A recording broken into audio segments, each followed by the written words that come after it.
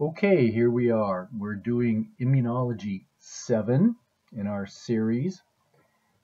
And this lesson will discuss hypersensitivity. Well, it's a very deep subject. And as we go through here, you're going to learn there are basically four types. They're numbered Roman numeral 1, 2, 3, 4. You'll see that in tables. Of course, I've got a couple tables, but to learn this, you need to know what uh, mediates the hypersensitivity, and we'll, we'll do it. I just wanted to show you this cat. I'll even make sure it's large enough. This would be a hypersensitivity. This cat happens to be allergic to mosquito bites. And that's what happened. You know, the nose on cats has uh, less hair.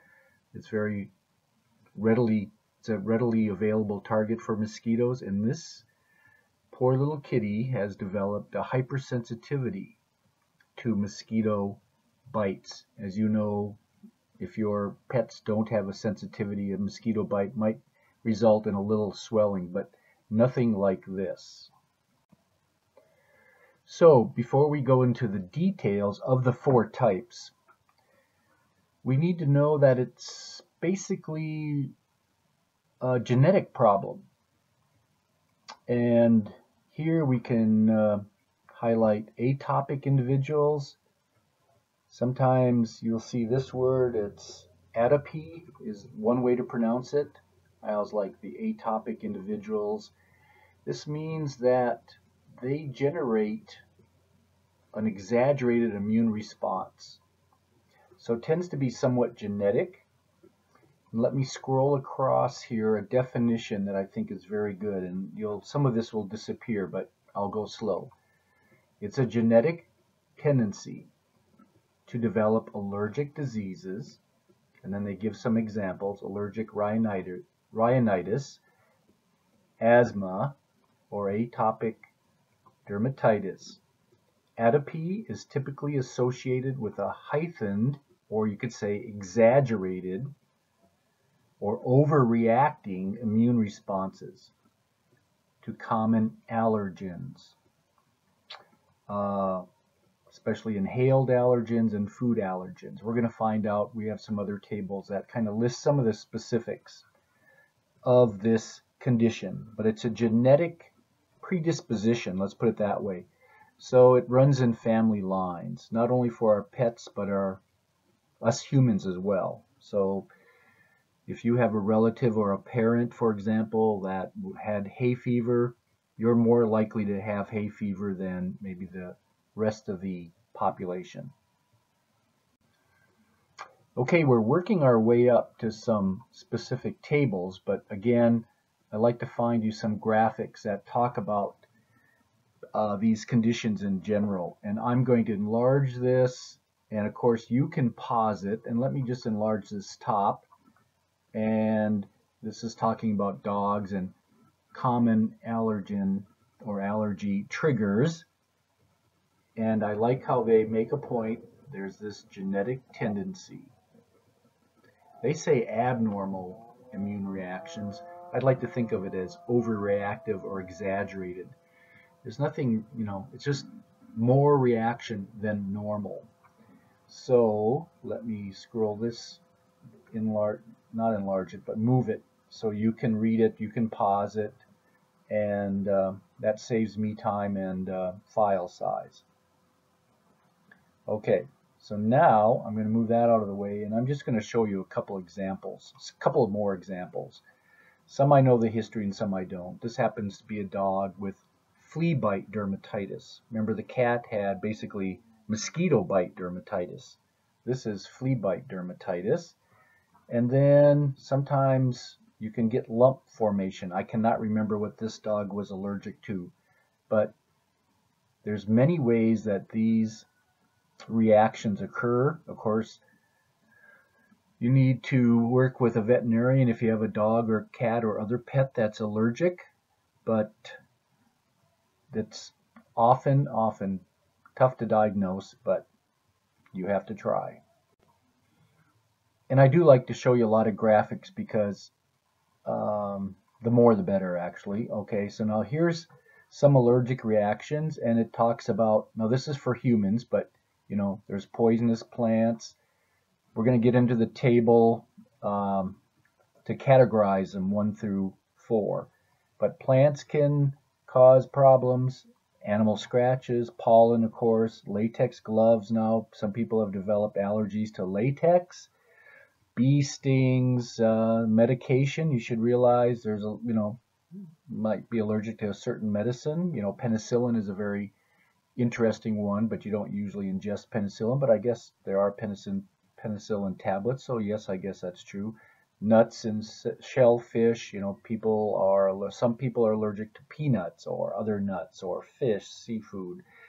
Uh, pollen, you can inhale pollen, dust, uh, animal dander. You should know dander is basically the uh, skin flakings and hair off somebody, uh, off a pet, I'm sorry. I used to know somebody that was allergic to rat dander. You might say, how would they be exposed to rats? Well, a lot of universities have rat colonies where you do research. I remember at Nebraska, I don't know, we had over a thousand or two or three rat, thousand rats that we worked with. Okay, now we're going to start talking about the four types. And I'm going to let you do a lot of reading on your own, which means pause, read. But basically you can see there's four types. It's a Roman numeral thing. And you should realize that type 1 through 3, they tend to be what's called immediate hypersensitivities. They happen within minutes or hours. Type 4 is notable that it's a delayed type hypersensitivity. And like me, I have poison ivy hypersensitivity, and it really takes two or three days to really get a good reaction going. Okay, pause and read, guys. Okay, another beautiful table. Gives you more information. I'm slowly trying to build up the level of complexity. I'll maybe take a few more minutes with this one. Type 1 reaction, anaphylactic or anaphylaxis. You should know that it happens, you know, in minutes up to 30. And we're going to have uh, some diagrams, but it's basically where an individual makes too much IgE. If you remember, that's an immunoglobulin that sits with its long stem on mast cells. And we're going to find out when allergens bind, and we'll call it cross-linking the antibodies, then these cells are basically floating drugstores and they release a lot of chemicals such as histamine and it causes problems. Uh, smooth, mother, smooth muscle contraction and vasodilation. Type 2, often called cytotoxic. That's a word that means poisoning cells. Takes a few hours, and we're going to talk about it's mostly IgG and IgM. And again, you can re this. Transfusion reactions is a good one where you get the wrong type of blood or an animal gets a wrong type of blood, especially if they've been exposed to it before. And that's maybe something I should say right now. You can't be allergic to something that you've never been exposed to. Now, it takes an initial exposure to make you sensitized, and then the next time you see it, you can have a full-fledged reaction. And of course, sometimes you get exposed to things that you're not aware of. Okay, so it's not like, oh, I don't remember ever being exposed to X. Well, you might have been, but you weren't aware of it. Type 3, an immune complex. What that means is there's antibodies and antigens forming together, binding together, and it's a complex. And sometimes just that particle getting someplace can cause a lot of damage. And remember, 1 through 3 is immediate, basically, is called, within minutes or hours. Delayed type is interesting because there's no antibodies involved here. It's mainly uh, T cells. And it takes days to go to develop this. And I already mentioned poison ivy. Again, I'm going to say pause, take notes, whatever. Now this figure is good because it puts pictures to it. And I'm going to get it as big as I can and you can pause it, but I'll just talk about a few things. Okay, type 1, you have this IgE sitting with its long stem on a mast cell and also basophils. The kicker is an allergen cross-links. It's got to bind across two antibodies. And of course, this would happen thousands of times on a cell. That cross-linking is the message to release chemicals. That's the kicker there.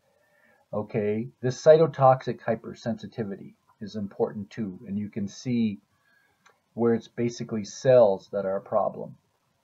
Type 3, and we're going to go through these in more detail in a little bit, so I'm, I'm kind of running through these. You can pause it. It's the immune complex sticking someplace. Here's an immune complex. In green, we have the antigen. The antibodies are making a big mass, okay? And then type 4, remember that's delayed, and poison ivy is a great example. It's basically you make angry macrophages that come into the area and destroy tissue. Isn't that a great phrase? An angry macrophage.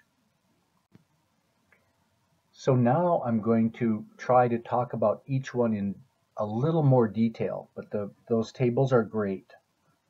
Okay, and again, you can pause this. It's a little fuzzy, but I think you can still read it. I want to make it as big as possible for you. An animal or person is born with a predisposition to allergies. That's that atopic individual. They get exposed to something. They make a lot more IgE than the rest of us. Okay? And IgE will sit on the mast cell. This is an allergic individual. A non-allergic individual might only have one of these antibodies floating in relative proportions. You know, we're just doing a graphic here. And then this is a sensitized individual. Now the next time the person gets exposed to that allergen, and I guess in this case it's a bee sting, the bee sting gives you an allergen, then you have this cross-linking of the IgE antibodies. And remember, a non-allergic person wouldn't have this many IgEs in this picture, and there wouldn't be cross-linking, cross-linking, sorry. So then you got the cross-linked IgE, and that's the trigger that releases the chemicals that do the damage or cause the reaction. So let's see some of the results. Okay, now as the reaction is taking place then, it can either be local or systemic. Now this, this figure talks about systemic. Respiration becomes difficult. Blood pressure drops. Smooth muscles of the bladder and the GI contract. Bronchial constriction. Basically that means airwave, airways are getting smaller. Okay? And then even if you've been watching TV, they talk about those EpiPens or pens with epinephrine. So this is the antidote. Maybe that's a good term I should uh, write here. So there, I magically made antidote appear at the bottom of the screen on the left side there. An antidote is any agent that counteracts, in the broad sense, a poison. So although these reactions you might not say are poisonous, but that's the definition of an antidote. It's going to like counteract what's happening, counteract something bad that's happening. So epinephrine is often the antidote for this type 1 type reactions. Okay, so a little more detail on the type 2 hypersensitivity. And type 2 is often known as the antibody mediated destruction of cells. There's an antibody involved. Here we've got IgG. This says a normal host cell. Well, you might want to think of this as also being a blood cell that antibodies are binding to. Like you can go back and refresh yourself on the um, equine neonatal isoerythrolysis, and we talked about uh, hemolytic disease of the newborn. This could be it. This could be a normal red blood cell inside an animal or a person that ends up being.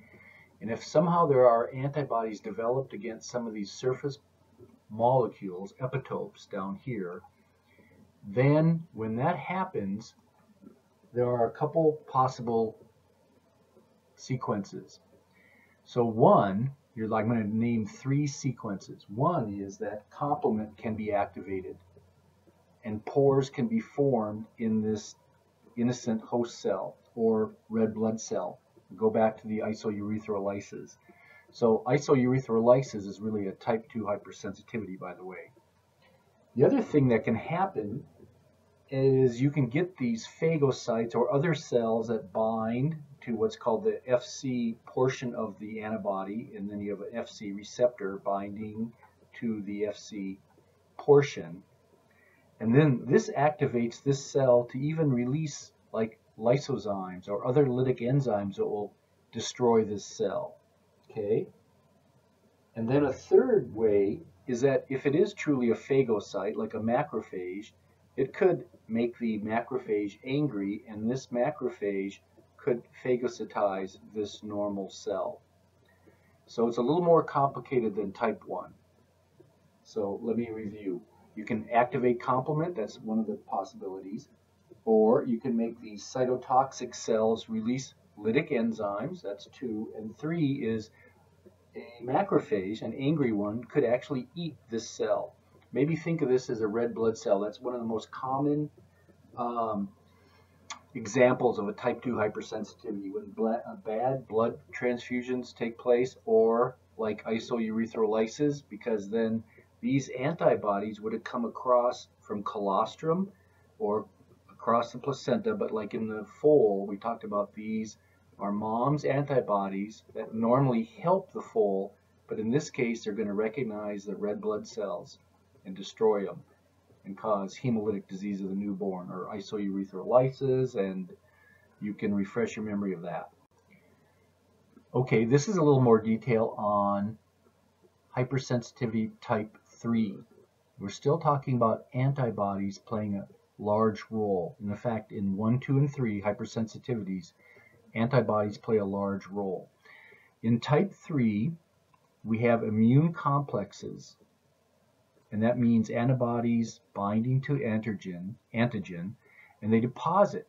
They're big enough that they're going to like deposit themselves in blood vessels or the glomerulus. Remember, glomeruli is the plural for glomerulus, the functional unit of the kidney. Well, just the physical presence can be a problem, and also they can activate complement. Because remember, anytime antibodies bind to something, complement can be activated. And you lead to damage in the nephrons, for example, the glomerulus in particular. And for example, arthritis is another example when you get these complexes depositing in joints. Okay, and here's some examples and a little review of type 3 hypersensitivities. Uh, remember, it's antigen and antibody complexes, and it depends on where they deposit themselves. If they're around small blood vessels, that's a problem because what happens is neutrophils try to come into the tissue and then destroy the complex, phagocytize it, or release lytic enzymes. So that's a problem when these complexes are depositing. It's also known as an Arthus reaction when it happens in a local area. Like sometimes you can inject something and then get a reaction at that point. And it's again an antigen antibody complex. There's inflammatory molecules released, and you know that's going to cause fluid to leak from the blood vessels. And again, like I just said, infiltration with neutrophils they're going to try to phagocytize and destroy the complexes. So they're kind of brainless. They're like, they see this complex and they're going to work on it. And they might uh, destroy some of the local blood supply, right? Farmer's lung is an example of the farmers working with moldy hay. They inhale the products of that mold, and then that can cause a local reaction. Okay, finally, let's talk a little more about the type 4 reactions. Of course, this is the cell-mediated type of hypersensitivity. The 1 through 3 were basically antibodies were important. In type 4, antibodies really don't play a role directly. And let me get my laser pointer here. Some classical examples here of this delayed type hypersensitivity, right? Remember, it takes hours, like 24 36 hours to do this. Uh, the tuberculin skin test is a react is an example of this. Contact dermatitis, they've got like two metals, nickel and chrome, but remember poison ivy and poison oak would be great examples of this reaction. And then also when tissues that are transplanted from some donor to a recipient, when they're rejected, they're often rejected here by this type 4 reaction that takes place over time. Let me move in some words that I want to make sure we understand for type 4 hypersensitivity. Usually the first thing that happens is you get these T cells, which are called delayed type hypersensitivity T cells. Uh, DTH T cells that come into the area and interact with the antigen. Let's say it's um, the poison ivy. Then these cells, maybe I'll put that up here, these T cells, a special class of T cells, some people think it's a subclass of T helper cells. They're delayed type hypersensitivity, hypersensitivity T cells, sorry, they come into the area, interact, and they release chemicals. Sometimes they're called cytokines. Um, think of it as releasing a lot of chemicals. And those chemicals, over time now, will attract macrophages. It takes a while to attract macrophages because they're not nearly as numerous as neutrophils. If you recall, in the blood, if you had to say what's the most prevalent phagocytic cell in the blood, you would say neutrophils. But this is going to be mediated more by macrophages that come in, they get kind of angry, and they're going to do tissue damage, basically irre irreversible tissue damage. And I myself have an allergy to poison ivy, so I know after a time if I get itchy and red and bubbles start forming, I'm undergoing the type 4 hypersensitivity. Finally, here's a list of those beautiful illustrations. I'll try to make it as large as possible. Couldn't do it without these beautiful illustrations.